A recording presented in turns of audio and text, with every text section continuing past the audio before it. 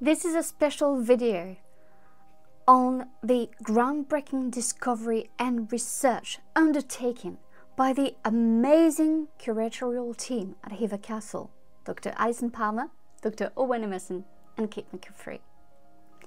It all started with the research done by Kate McCaffrey during her MA thesis, where she discovered the secret inscriptions that Anne Boleyn wrote and left in her own book of hours. She discovered that Catherine of Aragon and Anne Boleyn, one of the most iconic rivals of all time, both received. Sometimes after 1527, the production of it, the books of hours produced by the French printer Germain Hardouin.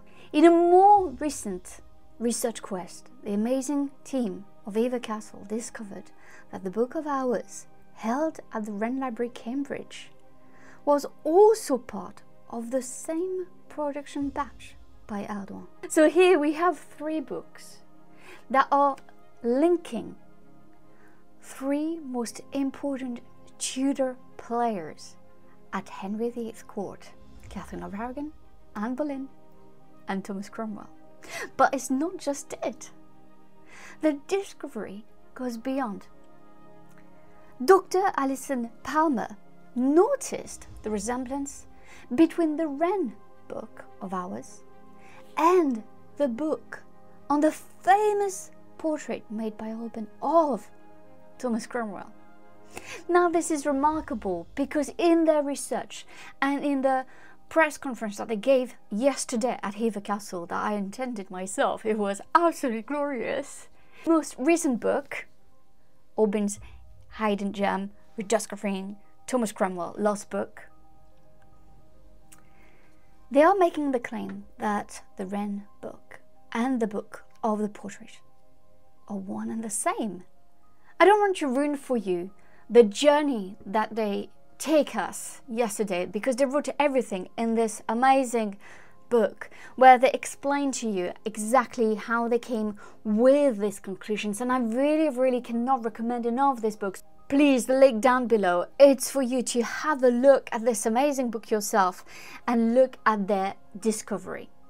Now, what I would like to do in this video is for myself to review what I think, what are my thoughts about this discovery, what am I taking, and where can I maybe, you know, try to participate myself or try to answer some of the amazing questions that they asked yesterday because any groundbreaking research will always ask more questions than they answer. For me personally, the thing that I find it the most incredible about the discovery that the Hever Castle team made is all these incredible links between the French court and the English court. As you know, I'm writing a book on Anne Boleyn, and the first part of my book obviously focuses on her years in France, but the whole book is about her ties and her relationship uh, with France, with the French ambassadors, with the French royal family. So for me to have this kind of research being done in terms of discussing, you know, who commissioned these books, why are the printers French, why, um, you know, uh, why are there so many elements um, linking Francis I through Pierre Mongeau, please read the book, Hardouin, Anne Boleyn, Henry VIII, Thomas Cromwell, Catherine of Aragon. These are the type of questions where I've always wondered the influence of the French on the English. For me, what's so interesting is not so much about the influence of the French on the Reformation, on the Henrician Reformation. I think it is a more complex one. It is a relationship that um, goes beyond, you know, in many ways religion, that goes beyond religious beliefs, that goes beyond uh, religious changes. And for me, is all these questions where, where Francis I, maybe his mother Louise of Savoy, maybe Margaret of Angoulême, then it raises the question, especially when you look at the time 1529, 1530, 1531, 1532. Obviously, there's another name that comes up in my mind, and this name is Jean du Bellay. Jean du Bellay, who is a French ambassador, who is, you know, um, very, very close to the Boleyn faction, who has lots of admiration for Anne until the end. And so these are all these questions that I find absolutely amazing. For me, the whole press conference, the whole book, um, their findings make sense. I know there are still lots of questions, and in the world of history, we all have to be a bit skeptical when it comes to new findings, new because there are so many unknowns. However, the way they've conducted their research is so very convincing. And as I said, it raises more questions. We have the amazing Dr. Joanne Paul as well, working on a book on Thomas More. She revealed herself that, you know, Thomas More had also a book of hours that's in Yale in the United States. So, you know, could we imagine that there were lots of books of hours given at the same time at the English court from the French? But again, that always raises the question, for what purpose and who commissioned it?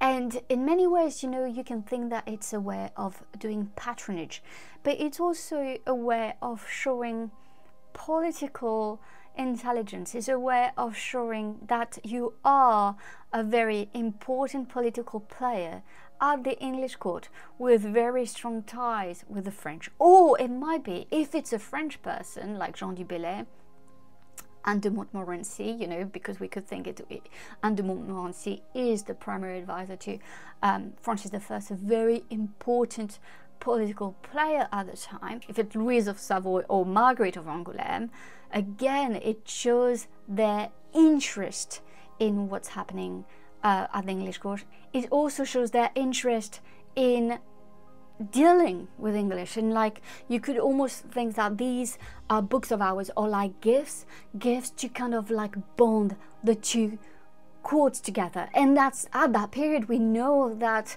the relationship and the friendship and the alliance between the French and English is very strong.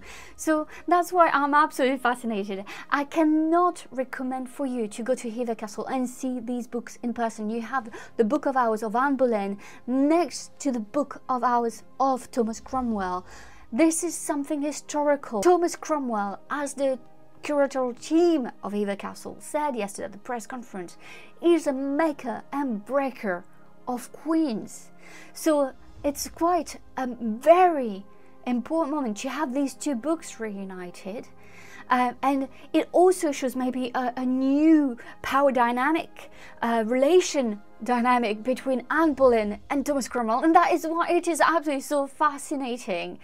Please get the book make yourself your own opinion about it, about the findings, about the research.